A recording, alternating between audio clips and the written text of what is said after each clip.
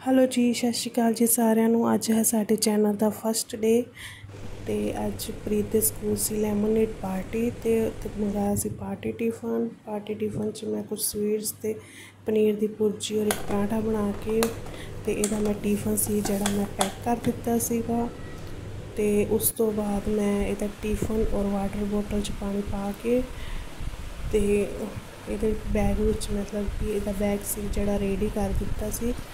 ਅਤੇ ਪ੍ਰੀਤ ਗਿਆ ਹੋਇਆ ਸੀ ਆਪਣੀ ਦਾਦੀ ਕੋਲ ਨੀਚੇ ਰੈਡੀ ਹੋਣ ਵਾਸਤੇ ਸਕੂਲ ਲਈ ਅਤੇ ਸਕੂਲ ਦੀ ਟਾਈਮਿੰਗ ਹੈ ਜੀ 8:30 ਵਜੇ, ਪਰ ਕਦੀ ਕਦੀ ਇਹ ਲੇਟ ਚਲਾ ਜਾਂਦਾ ਹੈ। 5 ਮਿੰਟ ਉੱਪਰ ਵੀ ਹੋ ਜਾਂਦਾ ਟਾਈਮ ਅਤੇ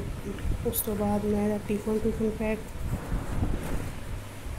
ਪ੍ਰੀਤ ਹੋ ਗਿਆ ਸੀ ਰੈਡੀ ਤੇ ਬੈਗ ਵੀ ਇਹਦਾ ਰੈਡੀ ਹੋ ਗਿਆ ਸੀ ਤੇ ਆਇਆ ਸੀ ਮੰਮਾ ਕੋਲ ਉੱਪਰ ਤੇ ਦਿਖਾ ਰਿਹਾ ਸੀ ਕਿ ਮੰਮਾ ਮੇਰੇ ਕੋਲ ਚਿਪਸ ਦਾ ਪੈਕਟ ਵੀ ਹੈ ਤੇ ਮੈਂ ਸਕੂਲ ਲੈ ਕੇ ਜਾਵਾਂਗਾ ਤੇ ਮਿਲਦੇ ਆ ਨਿਊ ਵਲੌਗ 'ਚ ਓਕੇ ਬਾਏ